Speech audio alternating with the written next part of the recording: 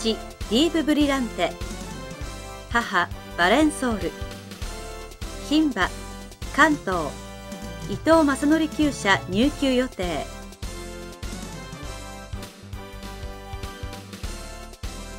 藤原牧場のブランドロッチの一族です。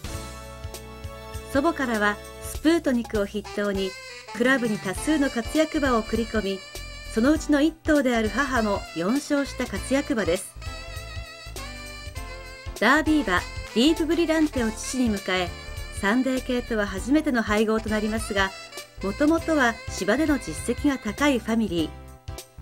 馬体の雰囲気や手先の軽さが好印象の本馬は芝適性の血が覚醒しても不思議はありません。